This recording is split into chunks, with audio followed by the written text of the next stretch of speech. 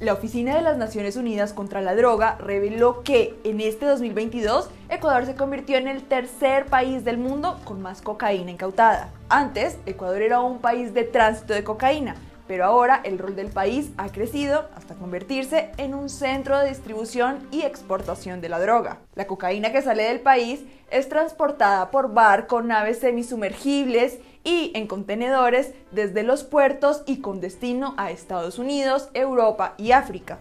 El tráfico de cocaína ha venido aumentando desde 2020 a pesar de la pandemia de COVID-19 las cantidades globales de cocaína incautada aumentaron un 4.5%, un nuevo récord de 1.424 toneladas, a tal punto que la cantidad incautada en América del Sur ahora es cinco veces mayor que en América del Norte, en contraste con el periodo 1999-2001, cuando la relación era a la inversa.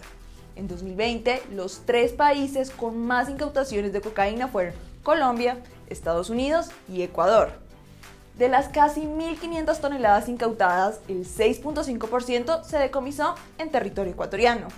La mayor parte del tráfico de cocaína en el mundo en el periodo 2016-2020 ocurrió por rutas ya conocidas, que parten desde Colombia a lo largo hasta la costa del Pacífico, hasta América Central y México, para su destino final, Estados Unidos.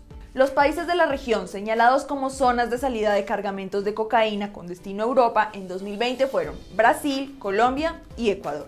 Según el informe de la ONU, las incautaciones de drogas sugieren un creciente tráfico de cocaína en el mar. Las cantidades de cocaína incautadas asociadas con el tráfico marítimo pasaron de 84% en 2015 a 89% en 2021. Entre los puntos de partida más importantes de la región están los puertos marítimos del Pacífico de Buenaventura en Colombia y el de Guayaquil en Ecuador. También figuran los puertos marítimos del Atlántico de Cartagena, también en Colombia, y el puerto de Santos en el estado de Sao Paulo, Brasil.